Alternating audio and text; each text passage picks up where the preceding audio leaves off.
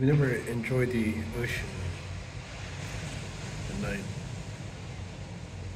I encourage you to. I mean, you won't see a lot, but you'll hear a lot.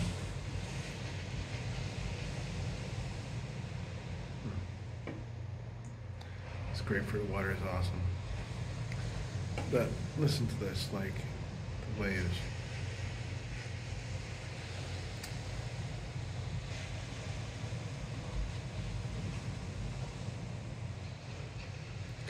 Very zen, very of poetry. I want to take a moment and we're going to say something deeply about it.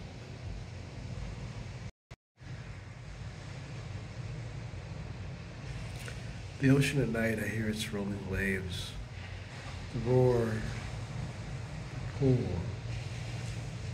so fawning and brave. In my soul, I know it rolls for me.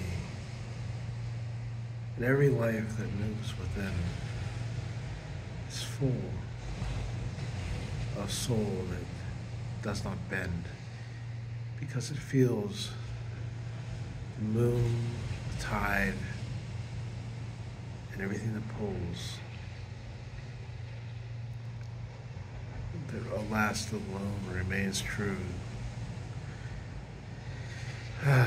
Have you ever sat by the ocean thought at night that what you cannot see is so great in might? And then your senses blinded by light is notion thousands of miles beyond